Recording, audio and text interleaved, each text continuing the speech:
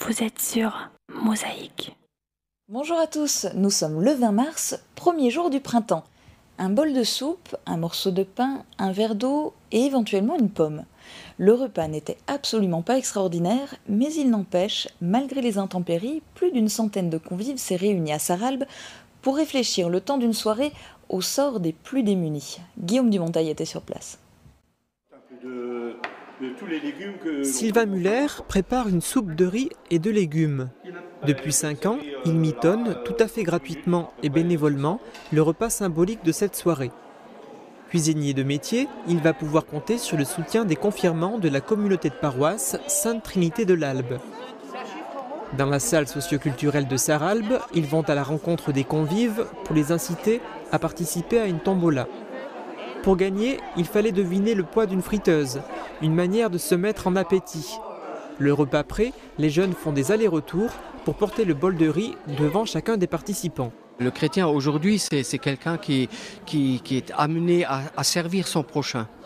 Et, c'est dans, cette mesure-là qu'ils vont rendre service à d'autres, puisque sur table, on a mis des, petites boîtes. Les gens vont mettre une obole là-dedans, mais eux, leur obole à eux sera de, rendre service ce, soir.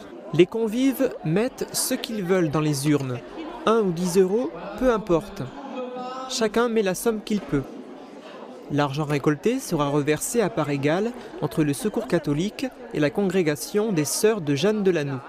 Ces deux associations œuvrent en faveur des plus démunis, orphelins, prisonniers, sans-abri, migrants. La liste des catégories de personnes défavorisées est longue. C'est un geste de carême. Ça veut dire que ce soir, les personnes qui sont là, ils vont manger un peu frugalement. Une petite soupe, un morceau de pain, un verre d'eau et éventuellement une pomme une pomme bio qu'on a dans notre jardin. Et, c'est ce, par ce biais-là, on, vraiment, on, est dans le, dans, le, dans le geste du carême, puisque d'autres enfants dans le monde n'auront certainement encore moins qu'une soupe de riz à manger. Lors de cette soirée, les participants avaient également la possibilité d'acheter des objets faits maison ou donnés par des magasins de Saralbe. L'argent ainsi récolté a permis d'augmenter le volume des dons.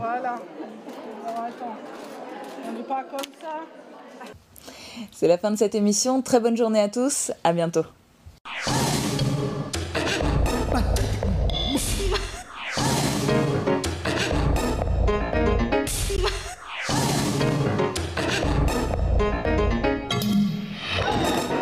Mosaïque vous remercie de votre fidélité. À demain.